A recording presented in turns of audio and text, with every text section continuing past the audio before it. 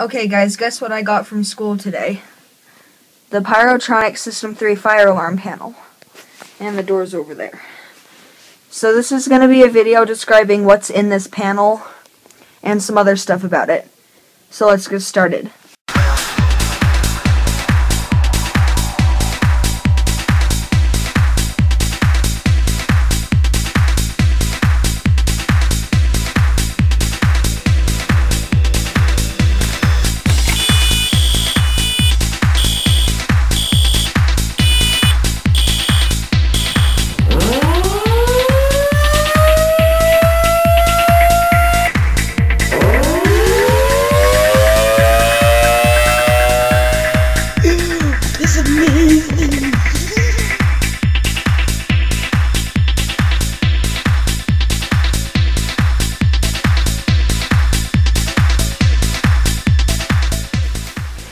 So, right here, I'll just start with this because this is not in most of these panels.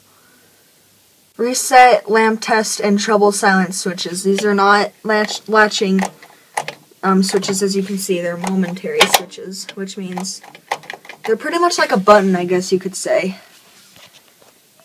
And you'll notice that the original power light is missing. It's replaced with that little one right there in this corner of goodies over here is what I like to call it. Because, I mean, look at this stuff. There's, like, a capacitor, resistors, oh, pencil, the screws to put the door on, a bunch of other stuff, and the lights right here.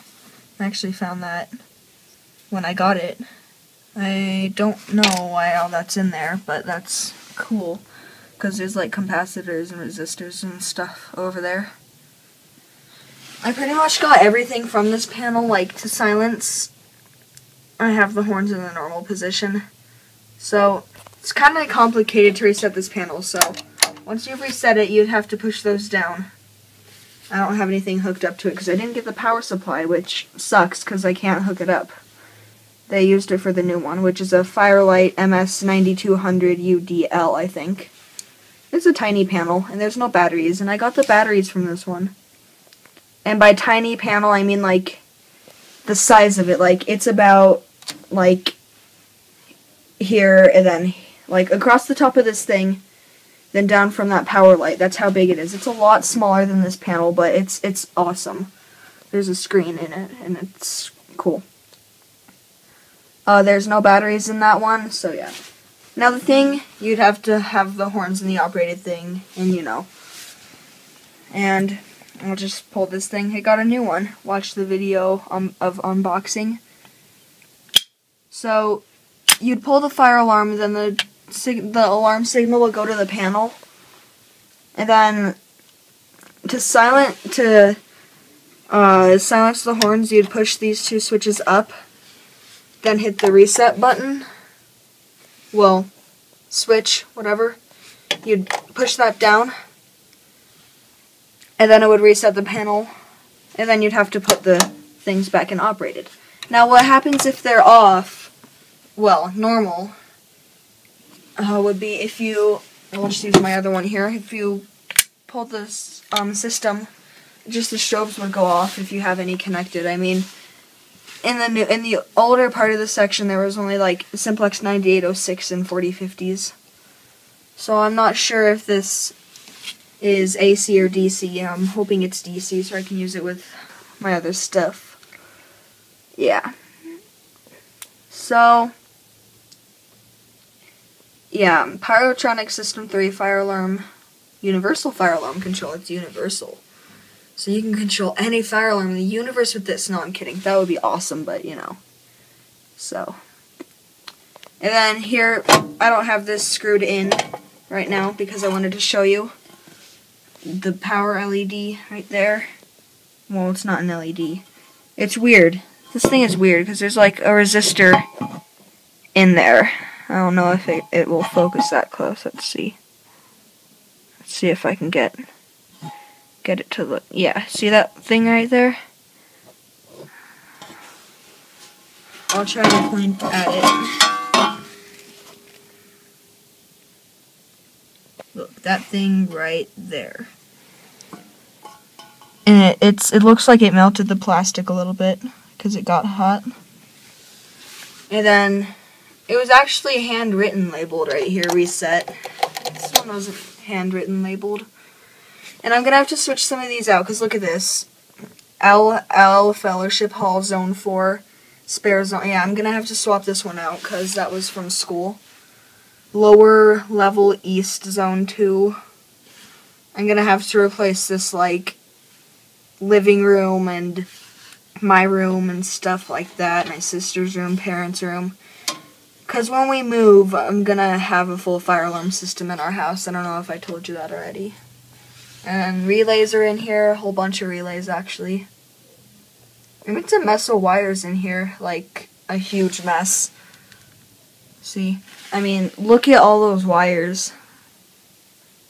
Yeah, it's weird. It goes from there up to there, then to this thing, then yeah, you know. It's it's a weird panel, but I got it for free, so I'll take what I can get for now. While I'm saving up for my MacBook. When I once I get one, I'll probably buy a nicer panel, but I'll still keep this one around. And oh look, pink wire. My sister will like that. pink wire. I've never seen that before. Orange wire, seen that before. And there's capacitors which are wired double-sided, which is very, very strange. I've never seen that before either. And then resistors, I don't, resistors aren't even made like that anymore. I mean, like, look at this. Now, in this thing, I, I put a resistor in it. That's why it was um, doing that. That's why it was making the battery so hot and killed my, my power supply right there that thing.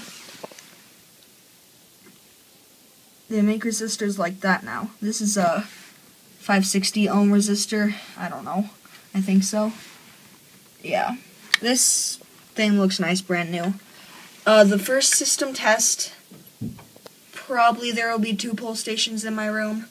It'll probably be the Johnson Controls JBGX10L. Might as well pull it since I pulled the other one. JBGX10L Maybe the old one, probably not. Probably this one. I only have three pull stations. One of them, only one of them is functional right now, which is the JBGX 10L, otherwise known as the Fire-Lite BG10. I'll have to reset that later. Yeah, so uh, the fuses are right there. There's a whole bunch of fuses in this panel, like there's four different looking ones.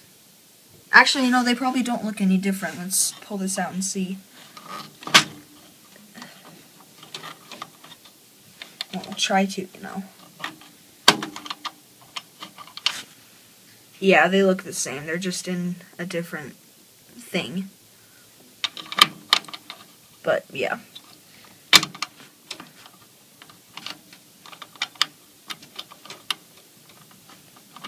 And now I can't get it back in. I'm gonna have to set the camera down for a minute. I'll try to do this so I can actually see it. Uh, let's see. I think it's this one. Let me see. Ah, bright light. Yeah, it's that one. Okay.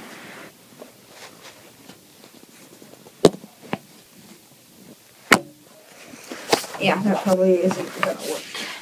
We'll just do this. Lean it up against a book.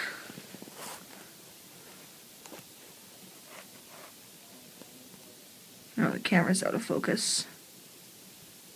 Yeah, I'm gonna cut this part out. The joy of editing movies. So let me just make sure you guys can see that. Let's focus it. There we go. Okay. Now I can see what I'm doing at least.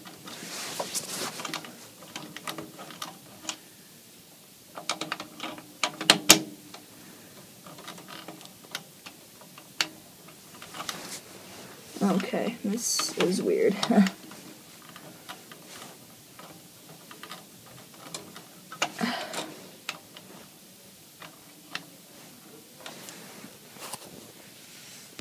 yeah, so I can't get it back in there.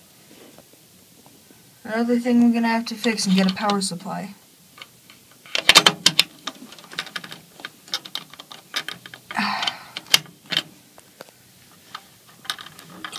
I'll put it back in later. So, yeah.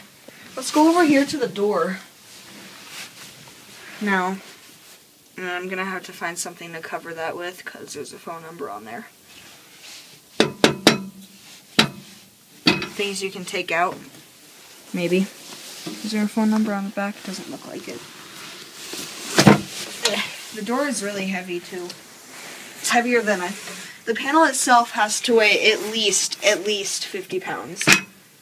Okay, that's a little exaggeration. At least 10 or 20, 15 maybe. Because it took me, my friend, and my mom just to get it out of the school. Oh, that's not right. Located in cafeteria electric room. Wasn't even in a cafeteria. It was like upstairs outside the principal's office. That's funny.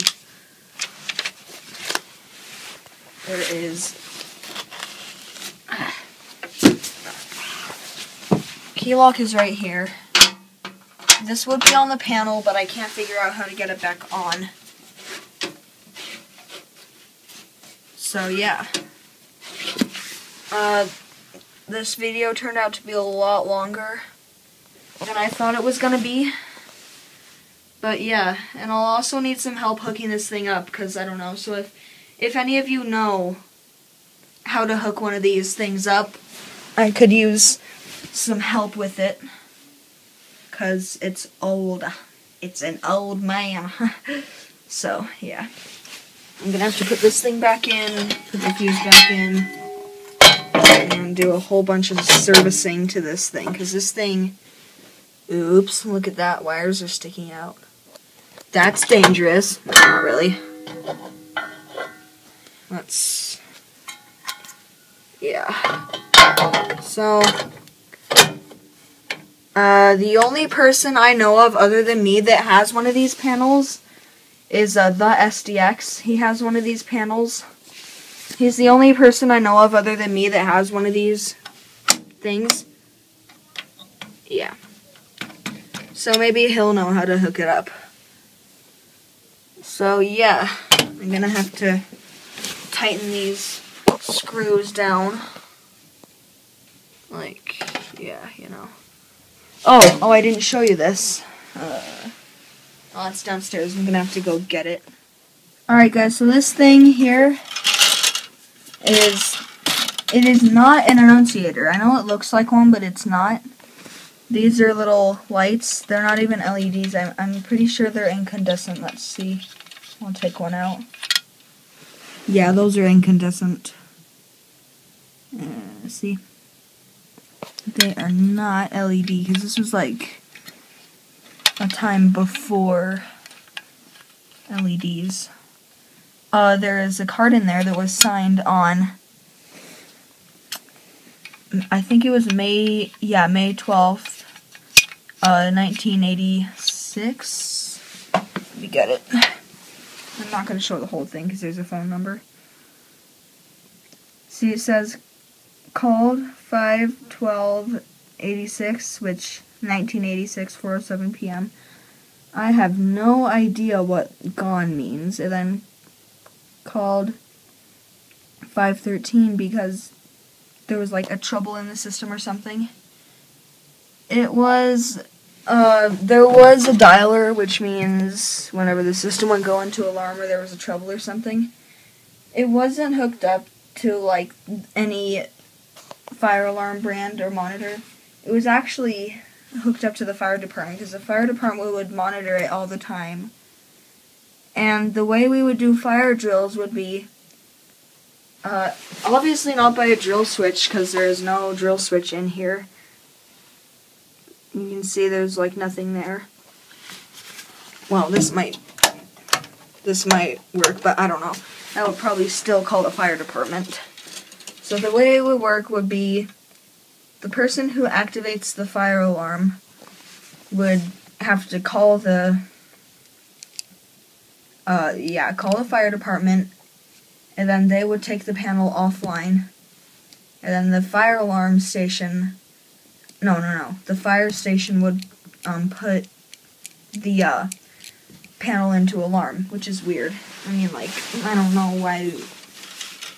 I didn't even think this thing was capable of doing that. And another thing, I have this um, power meter up here. Uh, there we go. Let's just put it on 40 volts. And these batteries, uh, they're actually charged still, but they're not hooked up, which is probably a good thing. So just stick that there, and the other one there. See? There's still a little bit of power in them. Let's try flipping it. Because I don't know. Yeah, see there's like 23 volts in there. But, Now 26. That's weird, because these are rated at like, oh, let me find, yeah, 12 volts. Right there. Power light, power right, actually. Yeah. Oh, here, look. 20 hour. Ooh, I can power my fire alarm panel for a day. Without plugging it in. Well, I mean, like, I'm not going to hook anything up to it because I have no idea what does what on this panel. I don't want to explode those things. You know. Because I already killed the power supply. So, yeah. There's that corner of goodies over there. That's funny. I don't know why that's all in there. Yeah, there was there was labels. I don't know if you can see the little letters. Um, the reason I took those things off is because one, they were ripped up. Two, I don't need them because this they were like over the screw holes. Now, the, I think another reason why they have this, and like I'm pretty sure this thing doesn't work, but yeah, it's just a little thing of incandescent lights. See, right there in the back. The thing is, it was the well, the room that this thing was in.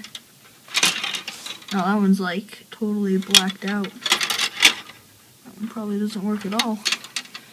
Because it, those two LEDs are well, not LEDs, little incandescent lights were the probably the only ones being used because they're the only ones that are labeled for zone 4 and zone 6 which there isn't even a zone 6 in this panel so I'm like what yeah it's weird it's a weird panel but yeah this the this panel was upstairs in the uh, ballroom because there's like a whole bunch of basketballs and other stuff kickballs whatever you know stuff like that. And those things right there, they're transistors. The, the resistors, relays. There's six relays right here. And then there's three behind that cover. And as you can see, I screwed it back on, so I'm not going to take it off again. Maybe, yeah, you can kind of see there's two, and then there's one about right here behind Pyrotronics. See, Pyrotronics. Yeah. And I do have the cover for this light. That might be an LED. No, that's not. I don't know, you know. So the let's off topic again. So let's get back to this thing. This thing, uh it was outside the room that the panel was in, which is like right by a glass door. So it's clear. I'm pretty sure that has to be there because when the fire department comes, they need to see what zone is in trouble. Like, they need to see what zone is in trouble so they can go to that place in the building and put out the fire, if there is one. Last year, I think, uh, yeah, it was last year, some preschooler pulled the fire alarm. It was funny. We were standing out there for 10 minutes and it was I could hear the MTs all the way outside. They were on high volume continuous. They're exactly like that one, except the MTs there are 75 candela strobes. But they're LSM, MT24 LSM. So I'm pretty sure this thing puts out DC. But I have no idea. this is like a rare panel because there's lamp test and trouble silence and reset. Yeah, you know, it's cool. Horns off. Let's see. Yeah. That's the point of that little light thing. Yeah. Now it's just now it's just like there is an annunciator out there still, but it's bigger and there's buttons on it. There's no lights. No, no, no. There's lights, but there's no screen. So yeah, there's still an annunciator, but there's no uh, labels or anything on it. Yeah. And oh, resistor. Put it in the corner of goodies in case I need it. Anyway, um, now instead of just looking, they just look on the screen because there's still a dialer, obviously. So it tells trouble, no, no, no, a fire alarm at whatever building. And I'm not sure if it says the zone name, but yeah. Capacitors in there and stuff and everything. Relays. Other stuff. Door that I can't figure out how to get back on that weighs like seven pounds or something. It's heavy. It's this whole panel is like pretty much entirely made of metal. It's cool to have this panel. It's very rare. And another thing that's rare, this pull station's brand new. Never before used until I used it. yeah. So I'll try to fix this thing so I can use it in system test 1. Yeah. 110 volt. It's upside down. I'll flip the camera over. 110 volt panel EM number 3. Yeah, I don't know if this was used before it was in that school. But yeah, so this video was like 20 minutes long or something. This video turned out to be a lot longer than I expected it to be. And yeah. Now I'll try to show how the door looks by just... I'll have to stop this for a minute.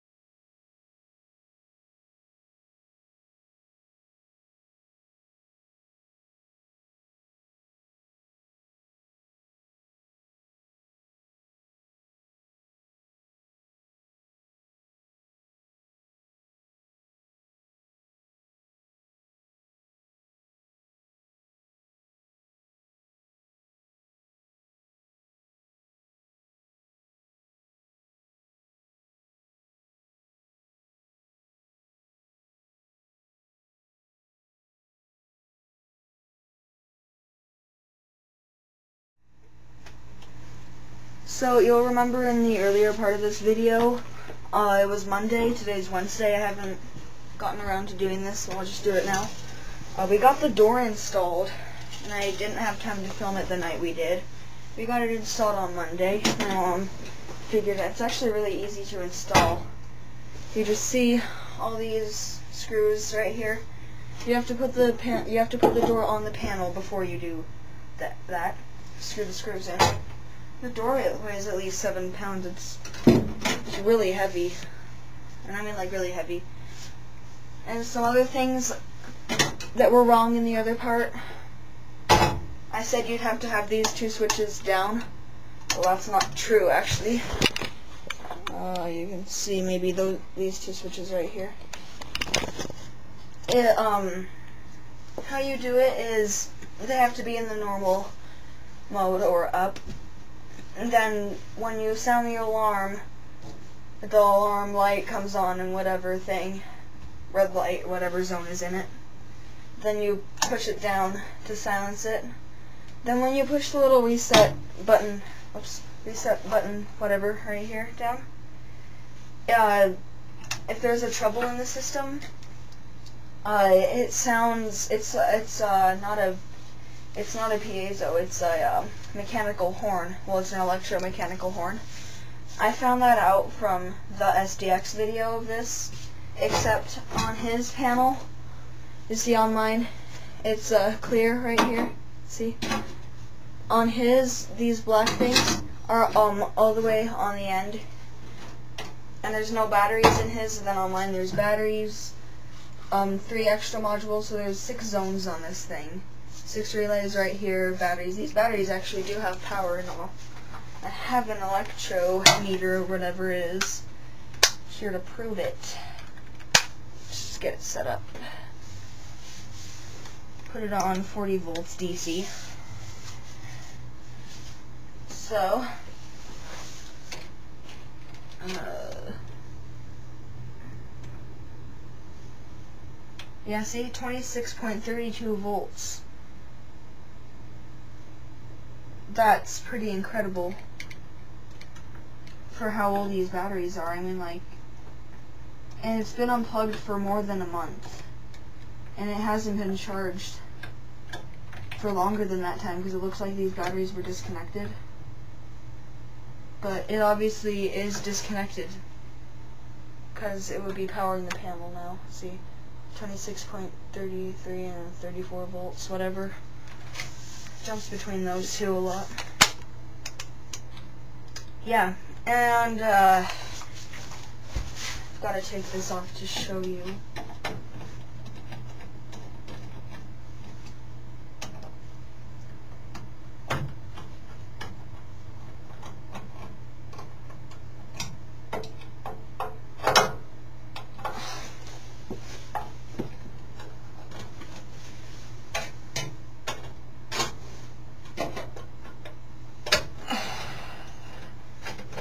There we go.